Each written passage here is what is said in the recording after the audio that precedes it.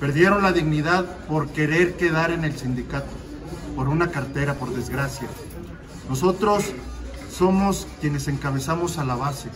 Nosotros creemos que es primero la base, más allá de las, cúpulas. ¿Cómo lo vamos a trabajar? A través de esta forma, a través de los medios de comunicación. Vamos a visitar escuelas hasta donde nos dé. Son alrededor de mil escuelas. Es complicadísimo.